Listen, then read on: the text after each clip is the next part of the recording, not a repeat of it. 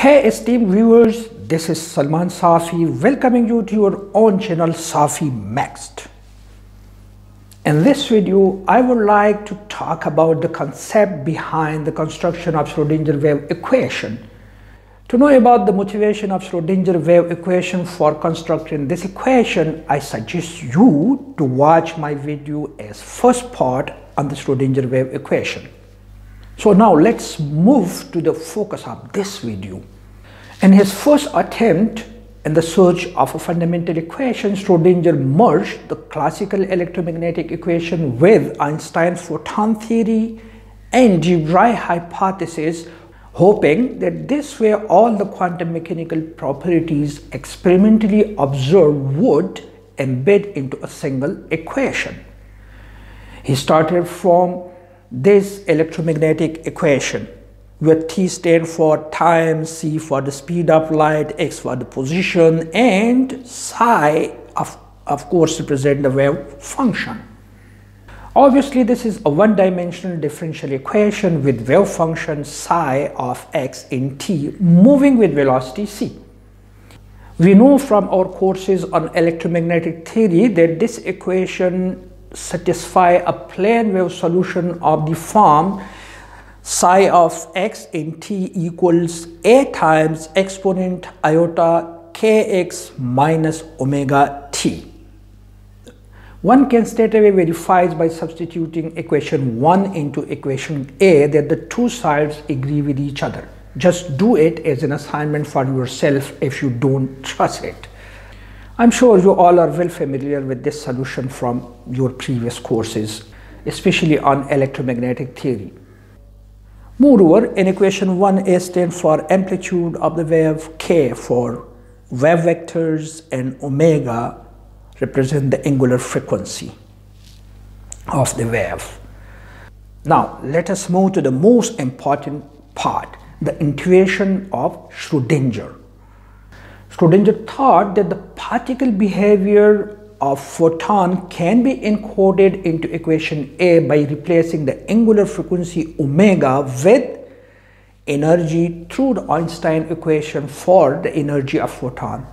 That is, we can write E equals h bar nu multiplying and dividing this equation with 2 pi we can put this into the form is divided by 2 pi, the whole multiplied with 2 pi nu, and h over 2 pi of course is h bar and 2 pi nu equals the angular frequency omega. So I can rewrite omega as omega equals E divided by h bar.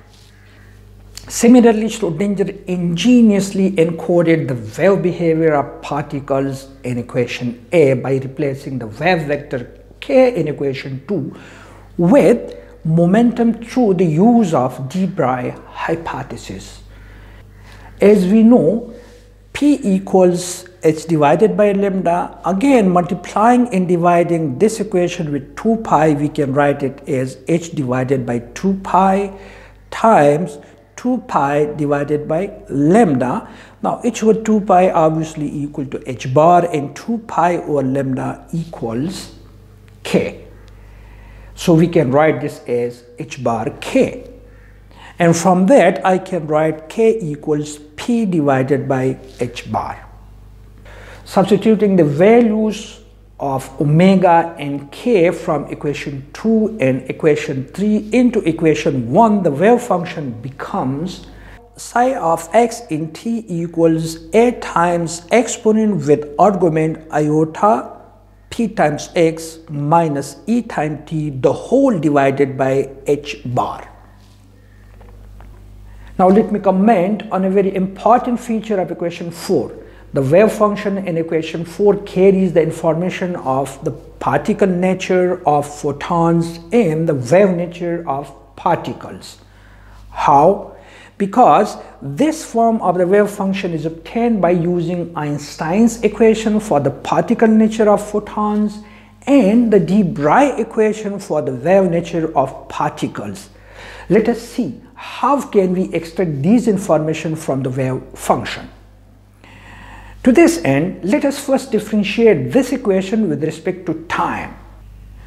So I can write that differentiation like this, this is partial psi over partial t equals a times partial over partial t of the whole exponent and obviously, if I apply the differential with respect to time, I can rewrite the whole exponent as you see in the equation. And then differentiating the argument of the exponent with respect to time, the, the first part in the argument is obviously time independent. And the second part depends on time. So from that part, I can easily rewrite the whole wave function like a exponent with the argument you see.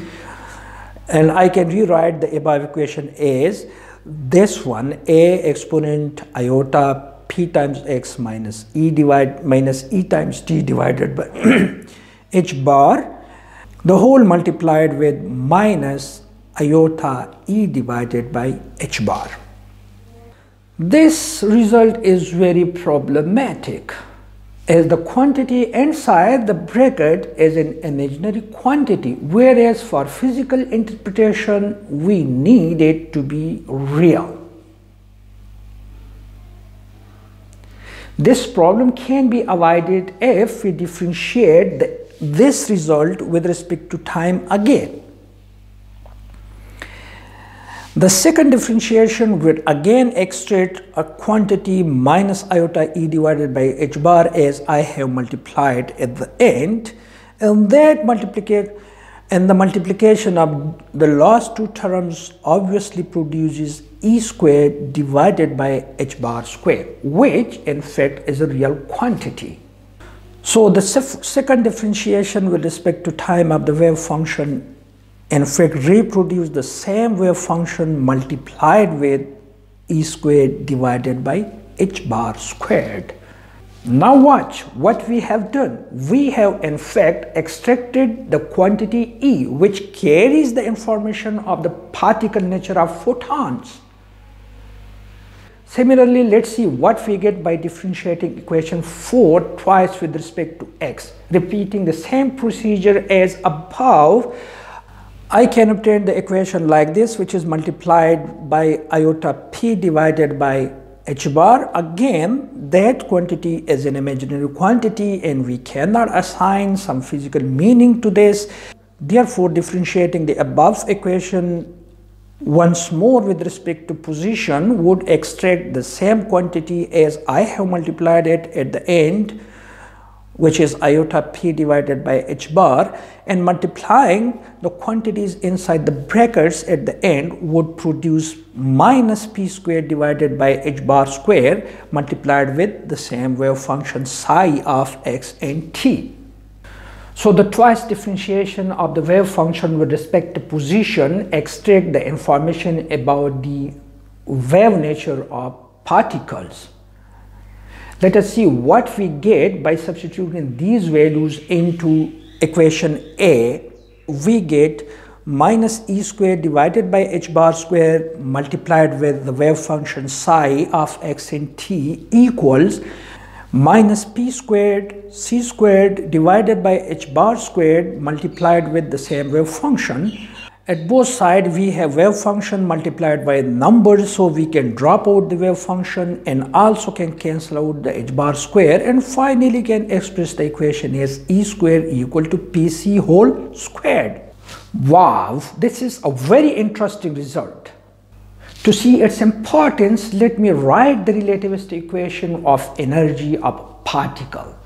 We know from relativity that the square of the energy equals pc whole square plus m naught c square whole square where m naught is in fact the rest mass energy which is zero for photons.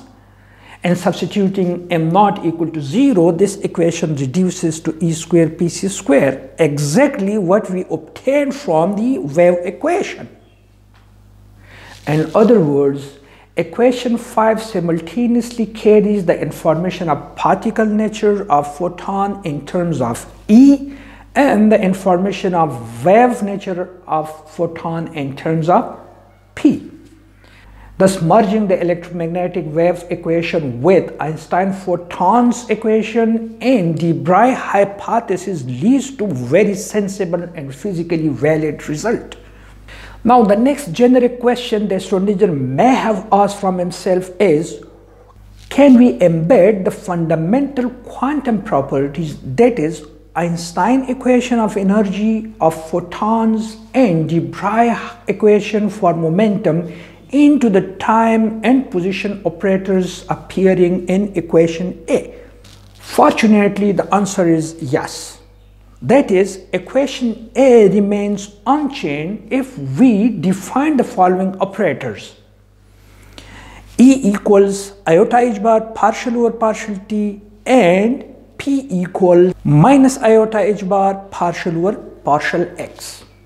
Note the hat on E and P in these equations.